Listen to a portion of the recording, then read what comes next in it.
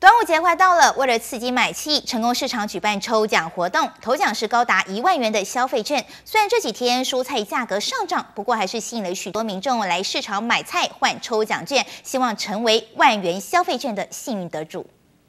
我们市长家抽出来了，得奖的是市长张东龙和议长黄景泰，分别从堆积如山的抽奖券中抽出最大奖一万元消费券的得主，并亲自以电话通知。这是成功市场主办的消费摸彩活动，消费者只要购物满一百元，就可以获得一张摸彩券，有机会抽中一万元、五千元及一千元的消费券。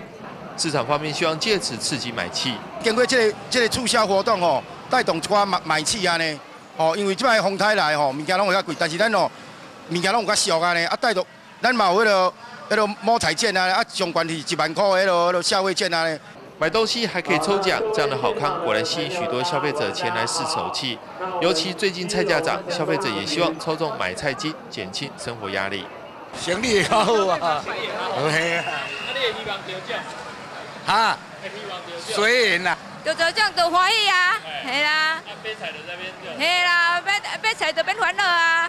除了消费券外，市长和议长与多位市议员也分别提供脚踏车等奖品作为摸彩之用。对于市场方面主动举办消费摸彩活动，市长与议长也相当肯定。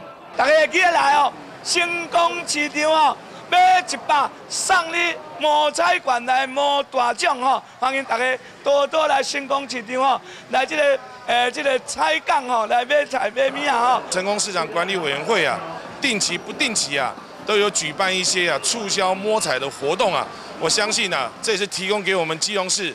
很多经营非常辛苦的传统市长啊，能够效法的经营理念。从市场方面也同步举办限量特卖活动，只要十元就可以买到一盒蛋、一整根白萝卜或者是一颗大苹果。结果吸引许多民众一早就来排队，成功营造人气。成功市场主委陈景琦表示，七月二十八号将再举办一次促销活动，欢迎市民多多到成功市场来消费。记者张启腾报道。